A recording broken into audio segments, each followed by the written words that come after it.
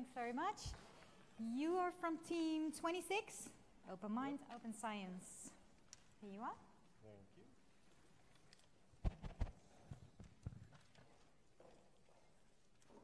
So the way we reward and we do research is actually pretty messed up.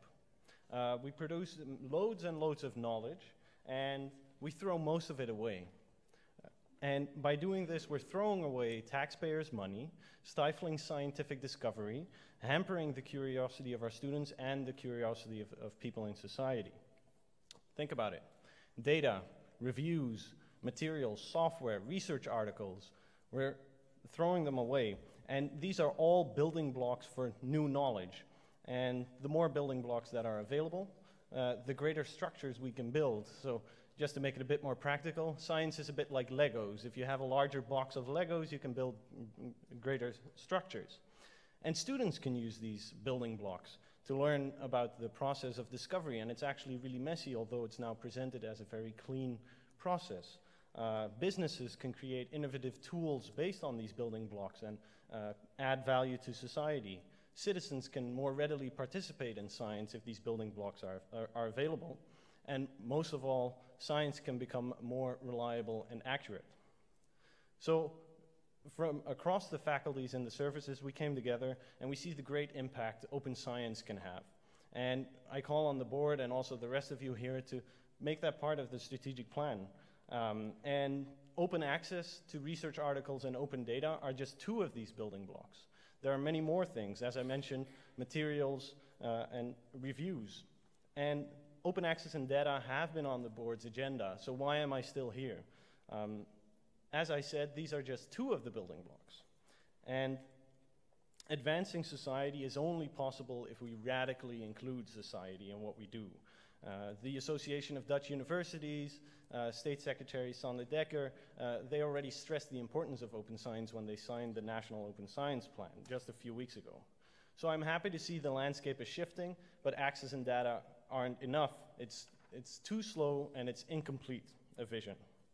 So today I want to focus on one other aspect of open science. That's uh, the problem of selective publication. We can eliminate that easily because researchers produce beautifully written stories that read like a good movie, you know, uh, uh, introduction, methods, beautiful results, and subsequently uh, a nice, happy ending to a beautifully written paper that makes us think we actually understand the world.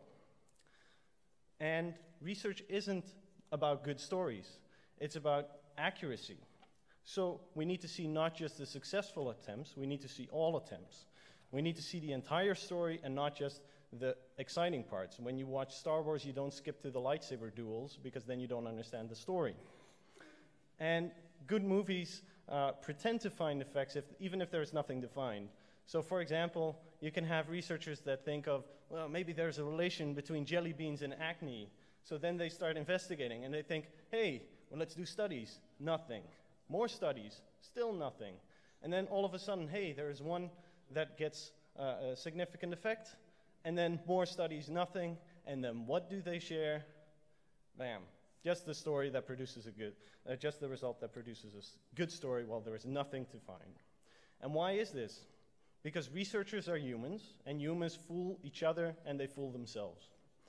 And this has been shown time and time again, and it greatly hurts the validity of science. And we've seen it in the last years. Psychology, economics, life sciences, cancer research all have validity problems. So, what do we need to do? We need to stop researchers fooling themselves and move from confirming prior beliefs and uh, just writing up results that are confirm prior findings uh, and, and beliefs, but do accurate, good science.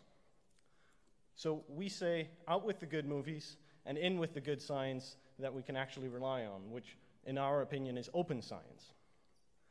And sharing all research that is properly conducted is feasible and will increase validity, and which is all based on a realistic notion of the researcher that uh, do not evaluate results based on how easy they are to process, but on their methods. But please don't think this is going to be something easy that we can solve by just installing a few uh, policies. And I want to show you an example as a researcher, I collected some data because open access to research articles is something that has been instilled in policies. But as I show you here, I actually went and saw so how many of these research articles published here uh, by Tilburg University researchers are available. And it's, a, it's disconcerting how few are. So just for clarity, uh, the political push to open access started somewhere in 2014, and Tilburg University has not been doing any better since 2014. So installing policies doesn't necessarily result in behavioral change in the departments. We need to really create a cultural shift. So, in sum, let us advance science by making it more open, which in, in turn will help us advance society. I will keep fighting for more open science regardless, but I want you to think about this. Open science, by now, it's out of the box and it won't go back in. The only question is, what are we going to do with that knowledge as a university? Thank you.